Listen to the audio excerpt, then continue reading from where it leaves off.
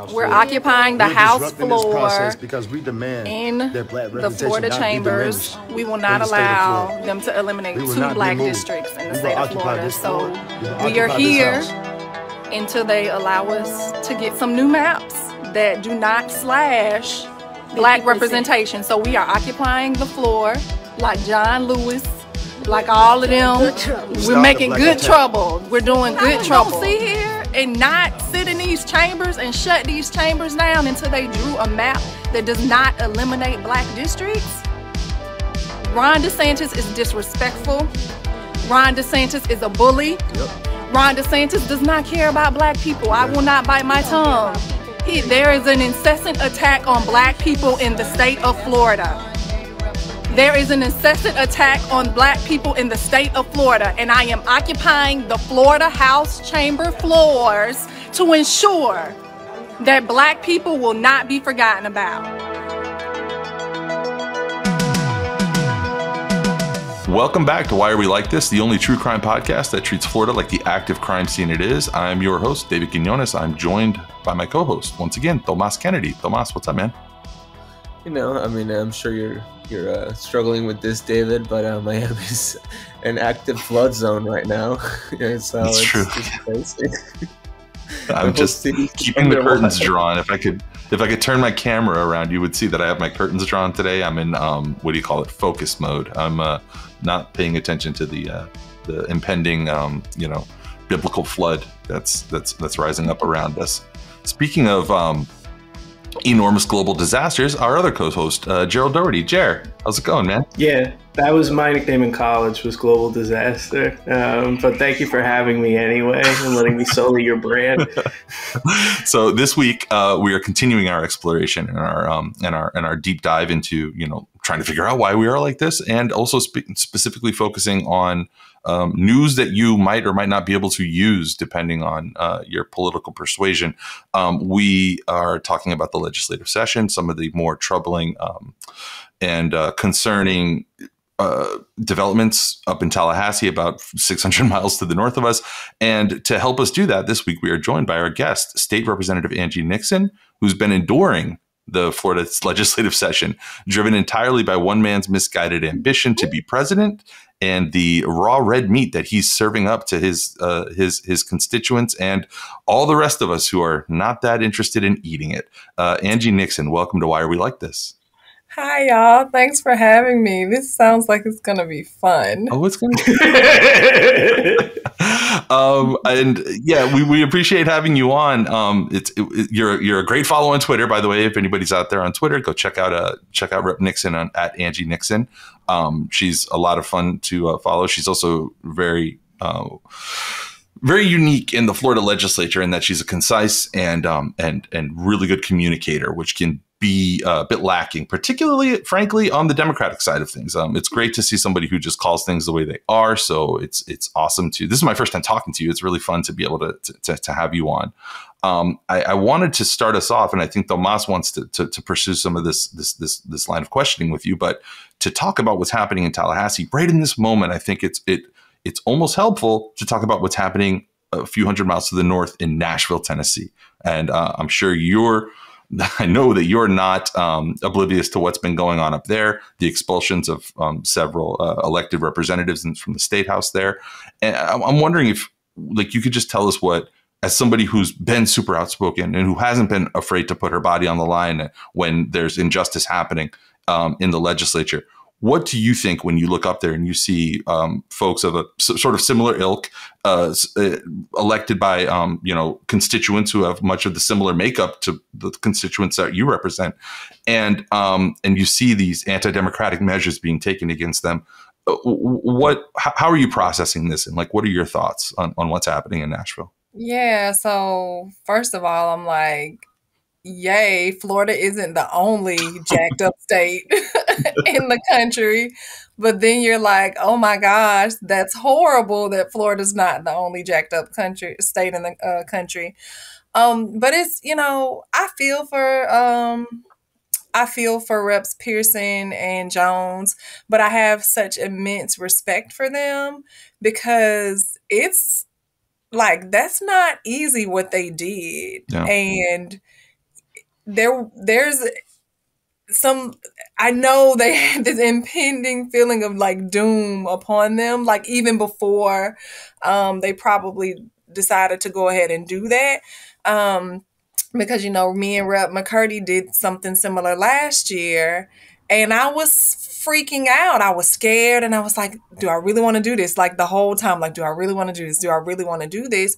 But, you know, we don't have anything to lose at this point. When you're in a super minority situation, when your voices are are not only not being listened to and heard, but they're being disrespected. Yeah. And so, you know, we took oaths, all of us took oaths to basically um, to look out for the entire community as a whole and to just see some guys that are so drunk off power like we had to say something. We had to get into some good trouble. And so i'm i'm happy that they did what they did. Um you know it's unfortunate that they got expelled but hopefully this will agitate people enough to really want to take action and and get involved and change what's going on here in the the deep south because we are really in the deep south. We had Anna Eskamani uh, on uh, last uh, week, you know, and we talked about uh, you know a number of things that are happening in Tallahassee. Some of the special interest driven uh, bills, obviously the abortion ban. That's something that you know Anna has really really uh, focused on. But we also talked about you know the the the the, the Tennessee you know saga that was you know th- this was you know before uh, you know Justin Jones was reinstated. So that was great to see uh, that at least one of them is having a happy ending, and it looks like Pearson will be reinstated as well. It seems like it, but you know something that we talked about was the fallout uh, of that uh, protest that you and McCurdy uh, led.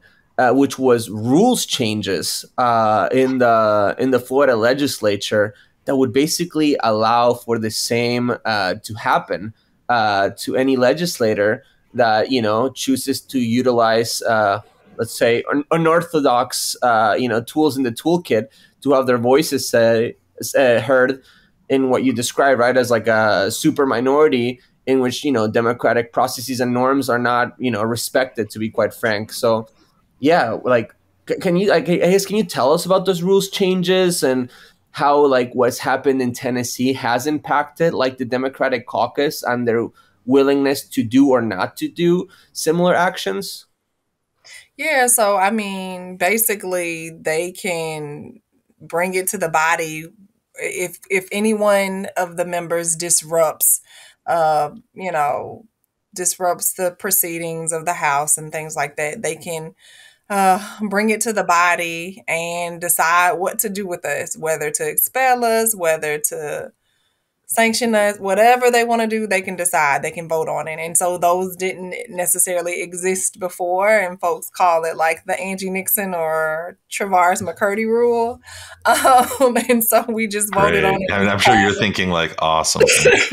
Thanks. like, wow, okay, yeah. And so, um, so that's where we are. That's what we're here now. Um, as far as like the caucus is concerned, you know, I don't know. I mm-hmm. I don't know. The Democratic caucus here, um, we are we're stronger than what we've been in the past as far as unity and like kind of moving together. Um, I, do I wish we were a little more outspoken and kind of pushed back? Yes, but I do understand. Like we need we need folks at the table. We need folks willing to work behind the scenes. Like we need all of us. We need the folks that cause good trouble. So I understand some people may be fearful of um you know being expelled or not getting bills passed or money appropriations for their communities for being a little bit more outspoken. But like like I tell people a lot of times, um, I came up here to really try to make an impact in a way that's transformative. And it's not just about like oh, I just want to get a bill passed, right? Like, no, like I want to get bills passed that are changing our communities for the better. Um, and so that's the type of legislation that I run. It is somewhat provocative to some of them, um, but you know, it's it's it's common sense, right? I am happy to say though that um, because the bill that I ran my freshman term, um, which I am now prime coing, uh, the speaker wanted it. This speaker, Speaker Renner, wanted to push it, but it's like it really is a transformative bill, and so um, Rep Hart is actually taking the lead on it, but I am prime combing it, prime combing it, and it is uh, the pregnant women in custody bill. So it's allowing um, women who are pregnant and incarcerated to potentially um, uh, be able to um, get their sentence um, postponed up mm-hmm. until 12 weeks after they have the baby. And so, like, those are types of things, you know, that I feel need to happen in, in the state. And I'm not, I'm not up here to make friends. I'm up here to really, like, make my community better it, it, must be so difficult when you have something that feels like such common sense legislation like that. And and um, there's not really i mean like even from from the right trying to put my put ourselves in the in the furthest conservative you know most extreme position it's like trying to concoct an argument against legislation like that it, would you like to hear the argument? I would love yeah. to quote me, Joe Pesci. I would love to hear this. Let's hear it. well, what about women who are going to get pregnant to stay out of jail? Oh like, what? Like, I was like, are you serious? You like, know, that thing that happens all the time. That sounds like a Coen Brothers movie. That's ridiculous. That's the most insane things I've ever read. And guess who? And guess who said that my freshman year? Cord Byrd. Oh, wonderful! Oh, now, the uh, same person that cussed me and Rep McCurdy out on the floor. Yeah. yeah. the guy, the guy that's in charge of our elections now. yep. Exactly. Who I made a I made a, a, an, an erroneous prediction about him, but I think it was only erroneous because it was a little early. I predicted that the whole country is going to come to know that guy's name at some point um, mm-hmm. because specifically of what Tomas said, the fact that he's in charge of the elections here. Yeah. And um, I think I was a little, I think I was two years early on that prediction. So you know, g- g- give me give me a little bit of grace for you see what happens in 2024 because oh, child. yeah, I have a long list of grievances with how the way that elections are, are run in the state, and um, they'll end up locking me up in a in a in a uh, loony bin probably at some point if I uh, go through all my cons- uh, conspiracy theories here on the show about the way that elections are run in this in this state. All I'm going to say is when you have a ballot that only touches one party's hands from the moment that it's ba- put in until the moment that it uh, that that that it's ultimately put into the record, like that's that's a little worrisome. Whatever, I'm not going to get into that. uh, Tomas, I'm sorry I cut you off a moment ago. Tomas, what were you going to say? No, so Angie, I wanted to ask you because um, you kind of touched on it when you were talking about your approach to legislating, and you know I've, I've known you for a while now. We've we you know we've worked in you know different organizations like the, the you know in, in in like the labor movement. Uh, so I, I got to work with you both before and after you became a rep. But I guess my question is, how how do you like bring your community organizing experience, right? And like, you know, like the way that's shaped your worldview and your like political uh, opinions and your like, you know, f- philosophy to life. How do you bring that experience into being like a, a lawmaker, right? And like a legislator in, uh, right. in Tallahassee? For sure. So I would like, to, so I think constituency services is really key as it relates to being an elected official here. Um, we have the power to connect people to services and resources that they otherwise never knew existed. And so, since I've been in office, um, I am lucky enough to have, um, you know, been able to help house like over a hundred people. Like there were people that were being kicked twice, being forced out of hotels that were shut down. And so if I wasn't an elected official, I wouldn't be able to to maneuver in that way, like, you know, connecting people to resources and things like that. And so like also just, you know, as an organizer, there in politics, there's really no permanent enemies except I would have to say like Ron DeSantis and Corbett and folks like that. But um, you learn to really maneuver behind the scenes, and so like I've been having conversations with people and working on amendments for certain bills. Um, to make some bills less bad, right? Um, and also like, you know, to kind of help my community out that way. And then sometimes like some of the bills that we're for or the, like that we may put up ourselves, um, they just want the credit. So like I, at the end of the day, I don't care. Like I just want the work done and I want um, that policy um, implemented and so like take it right like i know that initially this legislative session i had filed a bill to expand the hometowns heroes program which would have opened it up for more folks to be able to have first time home buying opportunities um, from you know from the state to get funding um, i withdrew it and was working it and like they opened it up to allow um, anyone that works full time in the state of Florida to have access to that program. And so, like, that's, you know, that's organizing, right? Like talking to them and things like that. And then also, like, trying to get the community more involved to actually help my cause, to help yeah. agenda our bills, right? To help push them through and really just educating people about what's going on. So, like, I really just, I, I actually just like organize here as well as I do in the community, just really trying to figure out ways in which, you know, I, I figure out the problem, who can solve it, and like, how can I like get that person to move? Do you think people would be surprised to find out in this state uh, legislative, particularly in the legislative environment where it, we absorb it, those of us who are living through it, like and are not, you know, legislators ourselves or living or you know working in Tallahassee, we absorb it as almost like just like a Sherman tank, and it's like you can't really negotiate with a tank. A tank is coming at you.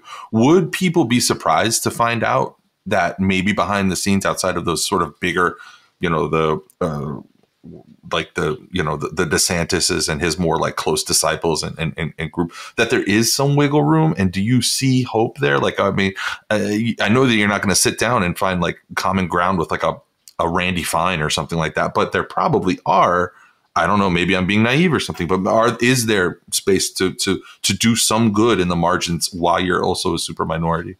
Yeah I think so and I think again it's just about having um conversations and like really behind the scenes and really letting people see like where you're coming from. Um, there's one particular rep who like I'm so I'm so real with it. Like, you know, I was speaking to people and then after everything happened, some people stopped speaking to me. And so like this year, I, I, there's one particular rep. I was like, "Hey, how you doing?" And so he didn't speak. And so I was like, "Oh, so you're not you're not gonna speak to me anymore?" Oh, so like, we're there. Like, oh, we're there. Okay. okay. And he's like, "Oh no, no, no, I'll speak." And so I guess he felt so convicted because later on, he reached out to me and he's like, "Hey, you know, you were right. You know, I have been kind of avoiding you, but I want to get to know you better. Like, why? You said why I'm so angry, but whatever. I'm not angry. I'm just very passionate. But, anyways, and so, like, those are opportunities for people to kind of learn, like, where I come from, what my community is feeling, and like you have to take people up on that, right?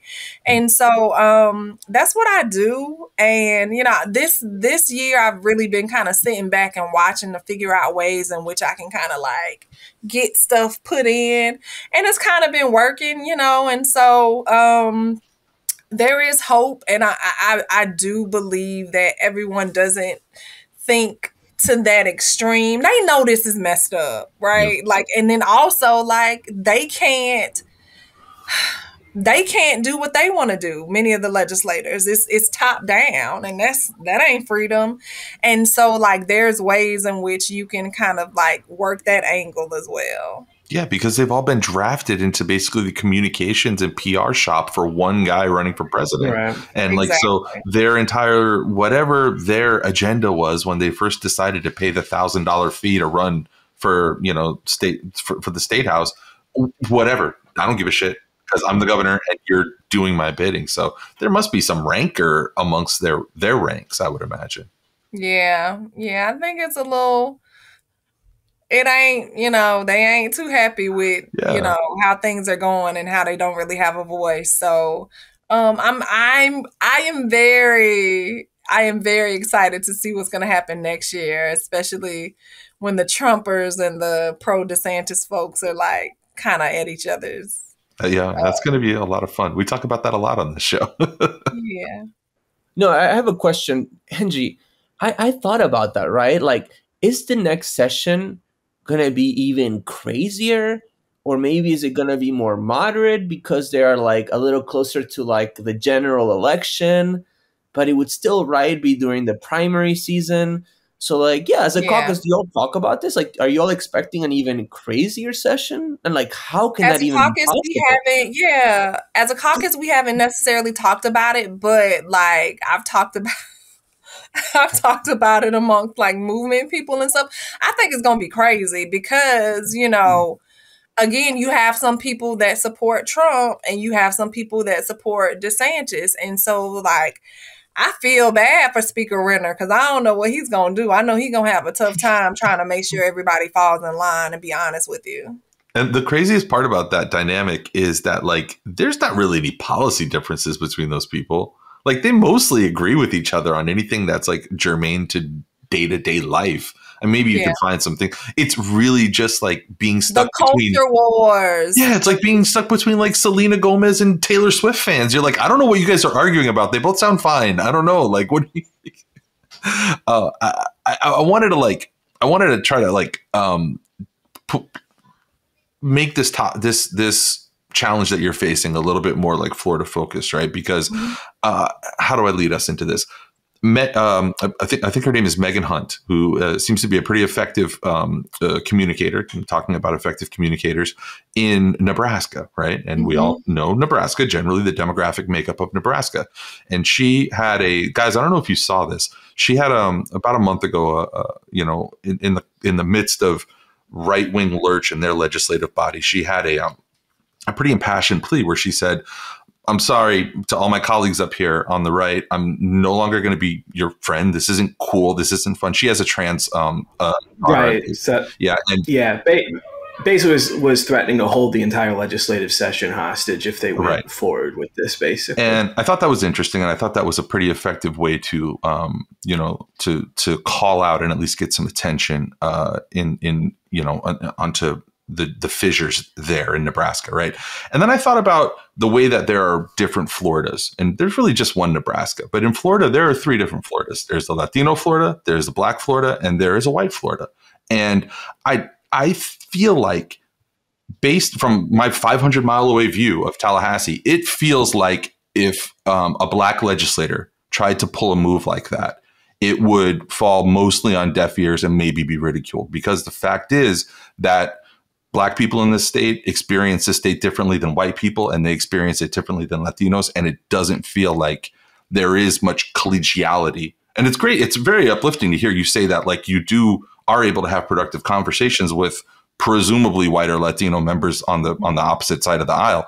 But like, what do you think about that in terms of being a black legislator and the natural divide? It's not natural; it's it's completely imposed. But the divide between um, you know these different cultures in Florida and the way that that sort of emanates upwards into the legislator. Do you feel like le- legislature? Do you feel like that that's that's the case? Like you guys remember back T- Tomasa used to always say like with DC like oh well the legislators they don't spend enough time back in their home states and then or they don't spend enough time here in DC getting to know each other and I, I just wonder if there's some version of that where like do you perceive that um, that a message like that would be taken differently from a black legislator in Florida I definitely um they're coming to get us we can't be talking I'm sorry I forgot we're not allowed to talk about this stuff in Florida anymore they're, they're coming to, they're coming to shut down the podcast no, um I I honestly, yeah, I do. I do. Um I think like it also varies amongst the different parties as well, but like even yeah, but regardless, yes. You know, I often I'll never forget was it last year or the year before? I think it was last year. I got booed on the house floor. Like it was somewhat kind of in a joking manner, but it was still kind of like disrespectful. Yeah. Like Totally. they've never booed someone because I got up to speak on another bill. And so like that has never happened. Like Rep Eskamani, Rep Guillermo Smith, they've spoken out on a bunch of bills, but here I am, and I got Mhm. booed. And so, like when I tell you, Rep Eskamani was pissed. Um, and so I love, I love Anna. She always has my back. Her and Ida. Yeah. Um, and so yeah, like oftentimes, like people again, just like I stated earlier, the other legislator was like, "Well, I'm trying to figure out why you're so angry." Like, I'm not like I'm talking. I'm when a white Mhm. man says something, it's like, oh my God, he was so passionate. That was great. And it's like, I'm telling you, my communities are hurting, or I'm telling you, my son, uh, you know, is going through something, or my daughter is going through something, and this Right. bill is making it worse. Yeah. And you're like, why am I angry? But he just said that, and you're like, oh my God, this is amazing. I can't believe you said like Yeah. but you know, I'm used to the microaggressions. Unfortunately, I am a black woman, have been one for 39 years. And so like that's this is my lived experience. And so it's very unfortunate and it and it sucks. But um as far as being in the Democratic Party, we have to figure out a way to like to stop that amongst ourselves, right? Especially since the black um community is like one of the, like one of the biggest base in the democratic Yeah. party like and you we are very dependable and so like when you continually like ostracize us and like don't listen to us you get things like many of the black men are like leaving because they don't feel heard they don't feel like there is a black agenda that folks are you know wanting to push and so here we are now. And so it's the same thing like in the legislature. And, how how do you feel like the Florida Democratic Party is is is performing right now? Is doing in terms of you know building infrastructure? I mean, obviously, you know we we did terribly in 2022. I mean, there's no ifs and buts about it. Um, you know, we have new leadership. Um, Yeah. Do you, do you feel like we're in like a better trajectory right now? So I think I think we have the potential to be and like let's be real, like they we were outspent like by a shit ton of money. Like yeah. like a A lot. lot. Yeah. Yeah. And so, you know, it, that's just absurd. There was no way to really like overcome that, right? And so you're dealing with that, but like, yes, we have to get our act together as far as being in a party. Um, I think there's some promise. Um, I've had conversations with uh with Nikki, and so like, I, you know, I think she's open to listening.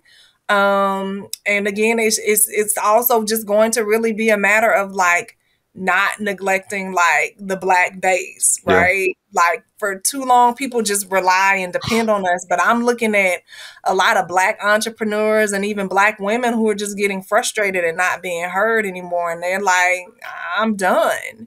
Yeah. And so, you know, I'm trying to keep them motivated and engaged, but like we got to make sure that, you know, like there's something in it for our community as well. I want if I could ask a follow up question on that because earlier you spoke about you know there being more unity now within the party than you've seen in the past, and I'm I'm sure a lot of that is the cock. in the caucus. I'm sorry. So um, I'm sure a lot of that is born out of necessity, just you know, given the the nature of the legislation that gets passed and the need for unity in, in crafting a response. But I wanted to ask, um, like, because it, you know, there are a lot of those tensions in trying to create, like you said, an agenda that speaks to every piece of the party. Um, if the caucus were to gain power, let's say like the Florida Democrats had the level of power that the Florida Republicans have, like what would a legislative session under uh, a Florida Dem trifecta? Oh my God, like? it would be Yeah. amazing. Like the state of Florida would just be flourishing. Like Medicaid would be expanded. Right. We would have um fully resourced public schools. Yeah. Um I think that Wait, but these are all actual problems. I thought that the legislature just dealt with like grievances and like and divorce settling and stuff like that. Uh, oh my god! You know I, that's Jer. I'm piggybacking on your question. Like, I would love to know what your pettiest thing would be that you would do. Yeah. What would be the pettiest legislation. Like what? We What would partisan make cable news headline would you turn into policy? we would make corporations pay their fair share. No more corporate giveaways. Imagine like, that. Imagine that. and that means it's more money for more, you know, more things that people want. So like it would be a legitimate people's agenda, like full on protections for tenants, great workforce development housing available, pushing out horrible slum lords, like all the right things. And so it would be a, it would be a great a great state. Yeah, I think that's a really good that's a good point to make, Jared, because I think that people forget. Well, I know I forget. I don't want to like just assign this to like amorphous people. I I specifically forget sometimes that this can be a great place and that there's a reason. Like I, for me, there's a reason I've stayed in Miami for 17 years because I've, I've lived all over the country and I love this place. I like this place better than anywhere else, and it's like one of the best places to be. Like uh, you know, raising a young Puerto Rican family. It's fun. It's nice. It's good. Yeah. The culture's right. I like. Don't send me back to any of the places I've been to. I don't want to no. go back. I don't want to. When I first when I first moved down, I thought I'd probably be only down there for eighteen months because I was going down for a job. I stayed for four years. No. You know? Yeah, and I mean, we we we have been like a pretty, I wouldn't say progressive, but like for like a southern state like Florida was like a, a, a, a progressive southern state throughout it, spots of its history, right? Like when we had someone like Reubin Askew as the governor, right? That was like a, a person that like bucked like you know the Dixiecrats and like the racist Democrats of its era and was like a proponent of like civil rights. That was like a proponent of like you know like sunshine law and government transparency and like a corporate income tax. Like we did have like good leadership at some points of like our state's history but like man like in just in the last 20 years particularly like the last 15 you know after charlie crist who you know like he has he had his deficiencies but actually charlie crist was like pretty good in a lot of regards but like god damn mm-hmm. we've really gone down the gutter. like we really need to get our shit together. I mean, it's been it's been beaten to death. But I do think like the popularity of the ballot measures that pass versus the legislative agenda in Tallahassee does speak to a, a certain level of dissonance between what you know what is a priority for an average Floridian versus right. what a you know political priority is for the Florida GOP. Right, and it just goes to illustrate like that our our seats are really gerrymandered because if we're voting for things like increasing the minimum wage and allowing returning citizens to be able to vote and then like DeSantis is in office and like all of these Republicans hold hold power, hold this supermajority in both the House and Senate, like something is going on there. So um the uh the, the the thing that I like kind of find um, most troubling, I would say, is as the uh, opposition minority party, uh, as a key member of that party, and as the sort of like efficacy, efficacy of that party has been chipped away, it, it, I feel like it becomes easier and easier for the machine, the GOP, like larger apparatus, to be able to focus more keenly on targets. And I worry, obviously, about our guest last week, uh, Anna Eskamani. Um, I worry about you. I worry about as there become fewer and fewer voices, it becomes easier to um, hone in, right? And be like, okay, well, that's a target right there. That district's a target. How can we make that district different, or how can we uh, knock knock out, you know, uh, a representative Nixon at the kneecaps or something like that, and and whatever and that's a chilling effect. And we always talk about that in the context of media or, or, or journalism, right? Like, oh, the chilling effect on journalism. Do you feel like there's a chilling effect right now amongst you and your colleagues where it's like, we got to be strategic, we don't poke a bear, like we got to be a little smarter about this, and and how do you try to navigate that? And yeah. I know that must be tough. Yeah, I think folks are nervous. They don't want to be targeted, but like, again, I think I'm an organizer. Like I treat this job, it is a job, like in an organizing fashion. And so like I know that my constituents are my like they're my employers and so they want to stay educated. They want to know what resources they can tap into and that type of stuff and so like that's what i'm starting to like that's what i'm trying to impart into my fellow legislators like let them know like just educate people about what's going on if they know what's going on in Tallahassee, they won't be happy. And if they know that you're fighting against it, like they're gonna be like, "Oh my God, we gotta keep her or keep him," and that's that's all. Like the the reason that the Republicans have been able to get away with so much stuff here is because people don't know what's going on here, and like also because they got a dope ass, like badass calm strategy. Like yeah. they're able to like flip stuff around and say all this stuff and message in a an amazing way. And so like we have to like put forth our message. And just like what you stated earlier, like Gerald, like what what what would a good Florida be, Gerald and David? Like what what would you imagine? Like that's what we have to start getting out there. Like Florida could be so much better if we like get rid of these people who, since they've been in power, have put us on a race to the bottom. And so, um, yeah, that's what I would that's what I would say to that. No, uh, for, first I wanted to say that, and this is something that I think I struggle with as, as a as a communicator or whatever but you know, sometimes I look at like my feed and I'm like, God damn, I'm like way too negative, bro. Like I need to like give a little people a little bit of hope. So then I'll go on like I'll try to post something happy or like a, a win or something, you know. Um, but when you were talking about the Florida that could be Angie, yeah, like it does sound so much better, and I appreciate that you like you spoke about it with such joy too. Like it was very convincing. Like your tone of voice and your like you know, just the way that you are presenting it. Uh, and yeah, and I think it's really important. And like, yeah, like the the Democratic Party, um, progressive like forces in the state, like, yeah, we really need to do a better job at that of just like communicating like the horizon and not just like, man, these people really suck because they do. But you know, we do have a better vision for the people of the state. So I appreciate you uh, doing that. But um, I, I wanted to shift the conversation a little bit uh, because you know we are like sort of reaching top of the hour and you know your time is limited. But before you know, I, I want to ask you about uh, some elections that are coming up in your neck of the woods, up in uh, the north of Florida and Jacksonville. Um, and yeah, so basically, there's like a runoff election for Jacksonville uh, uh, mayor. Mayor and you know Donna Deegan, uh, who's like a, a, a, progressive Democrat, is running against you know like Republicans. I guess can you like just like set the stage of what happened uh, yeah.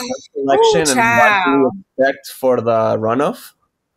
Yeah, so for sure. So Donna Deegan um, is a former news journalist in our state, hometown girl, and like she's a progressive eh, like she's running against a they call him the golden boy. Like let's be real. I'm just gonna be honest with you, know like seriously. So when i graduated from college well i was in my final semester. I interned in city council. I think he was still in city council then.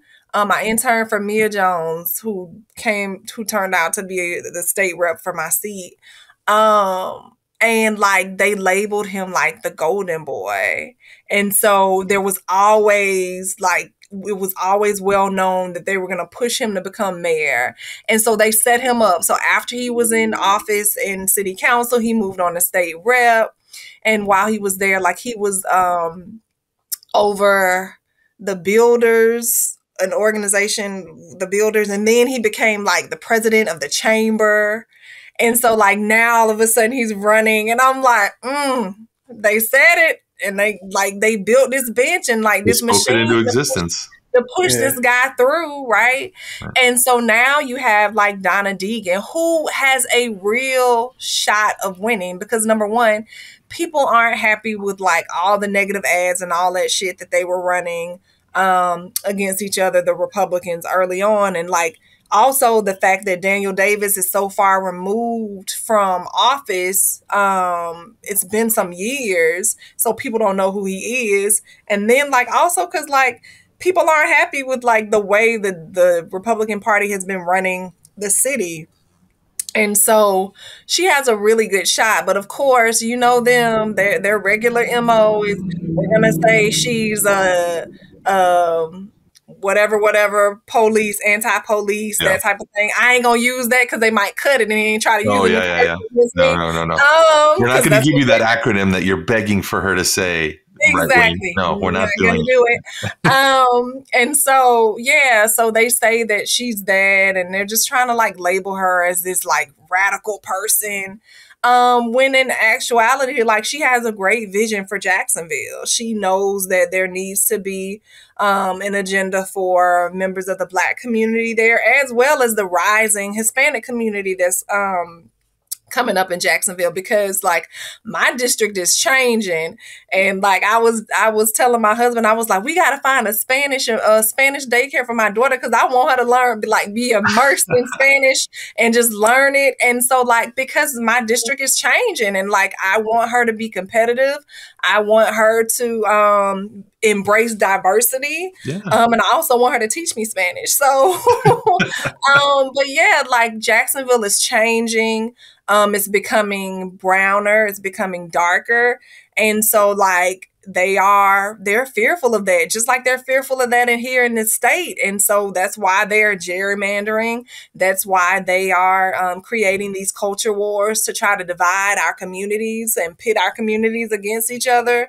Um, and so like that's what's going on in Jacksonville. Hopefully, um, we're able to turn out folks to vote. Um, we we had been trending blue uh, for a while, and then that kind of changed a little bit with this last election in 2022. Same. And so I know that they they're going to dump a shit ton of money in this race, just like they dumped in uh, a lot of money in the special election when Tracye Polson was running against I forgot that guy's name.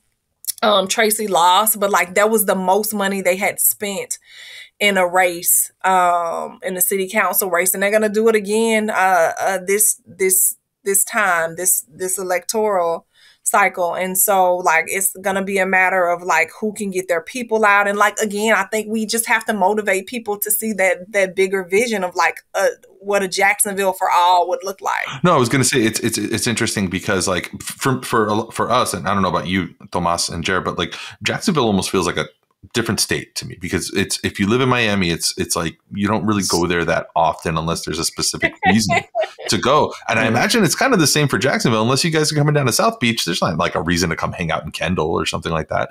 And um and we talk about how difficult it is specifically for Democrats who are always hamstrung financially relative to the opposition. And Florida is five big distinct media markets. And each of those media markets is bilingual. If you talk about miami it's trilingual because you better whatever you do you better do in creole too. And it, it, it's it's it, it's like everything is kind of dispersed and i wonder like I, I don't even like i don't even know is jacksonville uh the municipal the municipal elections are they um are they partisan or not are they like clear partisan or not They are they're partisan, but they're un, they're Unitarian, and so it's top two. Then they head to a runoff, right? Oh, Oh, I see. Okay, yeah, because here in Miami, like a lot of our countywide re- um, count, countywide Democratic representation, I think the case could be made that the only reason they're in office is because we've talked about this before too. They didn't have to run with D's next to their name during specific years, Oh. and um, you know, I was, and it, again, the, the, this state is such a patchwork. I'm sorry, Tomas. What were you going to say?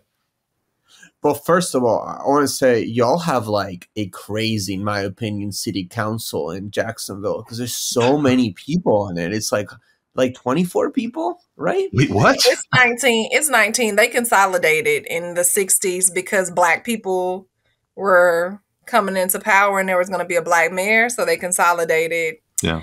and made all these empty promises. And so, like, now we're here. And so, yeah, it's 19 um, council members, uh, five of which are at large members. Yeah, and uh, speaking of um, gerrymandering, right, uh, and and a dilution of, of of black voting power, I was also wondering, like, what has been the fallout, or, you know, or, or, or I guess like the political fallout of the gerrymandering and ouster of Al Lawson up in North Florida from his congressional seat. I, we, I don't know what Aaron Bean is doing. I mean, you know, like Hmm, I don't know, and, and that's all I can say. You know, I ain't seen my congressman in since he was a state senator. Right. Yeah. Just chilling. That's and that, that's a that's a condition that is um I think uh, uh very um that's catching a lot of us a lot of people around uh, throughout the state. This is uh yeah about as about as um congenital as like uh, as uh, as COVID. We, we're all experiencing some of that, I think. Um, Yeah. But before we before we wrap up with you, uh, I wanted to switch up a little bit, and you kind of touched on the idea of uh, earlier when we were talking um, about. Uh, black constituents, reliably black, uh, reliably democratic black constituents in Florida, who you know, all throughout the South, throughout the country. This this is the most um, you know hegemonic uh, voting bloc that that the Democrats have, right? That, that that they can rely on. We saw it through South Carolina. We've seen it through countless primaries. We know how this is, but I think that there is, and I'm not alone in, in saying this. There is some erosion, or there's at least some effort from the right to try to erode or make inroads. Now, at, at what, what what it seems like is a Republican walking up and saying, "Hi, I'm a Republican. It's nice to meet you. Uh, I want to talk to you about Republican priorities," is not necessarily going to resonate with um, the average black voter, and they've earned that, and they can wear that. What is a little bit concerning is um, an article that I linked in our show notes uh, that I, I wanted to, to, talk to you about a little bit, um, and this is from MSNBC and it's a blog post by uh, by the the ReidOut. Um, so this is the headline is the black culture platforms that push right wing extremism, and this article is focusing specifically on the Shade Room and No Jumper, uh, which, as they point out, they're ostensibly designed to reach black audience, and both have become hubs of extremist disinformation. I've kind of noticed this, and for white people. Like we already had Russell Brand and Joe Rogan, so like we know about it. Like we've had these guys for for a while, but um, I I had been like a casual fan of No Jumper for a while, and just like just the interviews, like seeing the interviews are, are sometimes good, and then seeing that they're just like putting. Tomas, do you remember who it was with Nick Fuentes or something like? And then like Richard, Nick Fuentes, yeah, and then yeah. Richard Spencer, I think like the former. I don't know if you ever if you're a former Nazi. I feel like it's kind of a thing you got to wear um, for your life Forever. forever.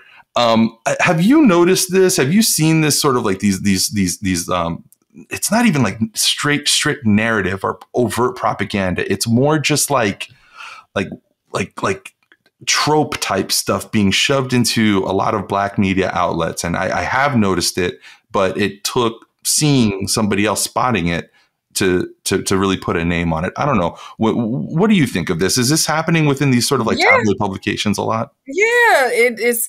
Oh, they're the LGBTQ community and and and Planned Parenthood. They're destroying the black family, Yeah. and it's like, what? Like what? I What mean are you like talking about? So yeah, like no, that that's happening, Yeah. and so that's what I was kind of alluding to um to earlier, and then also you know they're pushing like pocketbook issues, like black people have been so um a lot of black people have been on the lower you know economic socioeconomic ladder and so like when you have promise um or aspiration uh, uh or people are promising and like helping you try to inspire inspire you to to say you're gonna be able to make more money and all this stuff like you gonna go that way right and like that's what the Republicans are really pushing. And so it's like this proximity to to power and to like this capitalistic ideal of like, you know, making it out and like being rich and this and that. And like that is what is like driving some members in my community.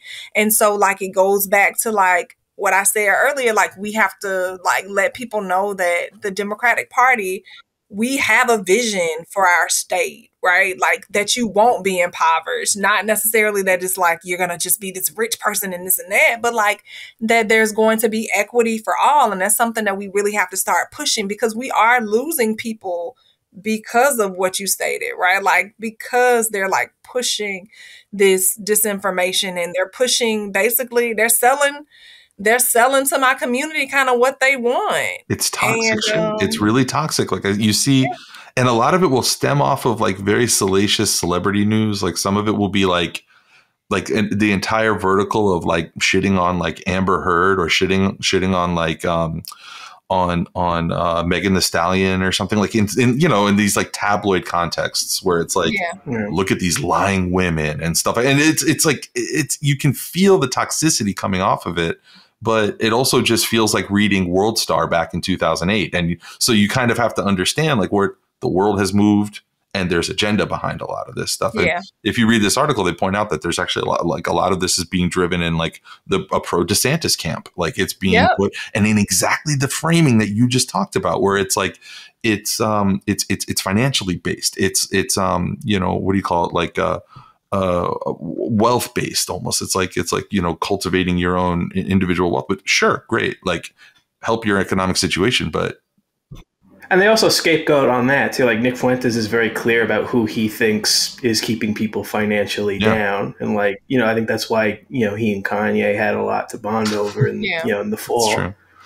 So we want to thank Representative Angie Nixon for joining us once again. You can find her on Twitter at Angie Nixon. Um, Rep- Representative Nixon, like, what else can people do? Like, what what would be your call to action to, to today on April eleventh, twenty twenty three? I would say um, my call to action is to make sure folks, if you're registered to vote, like sign up for vote by mail. Get everyone you know to sign up for vote by mail because that's like a reminder that people get, right?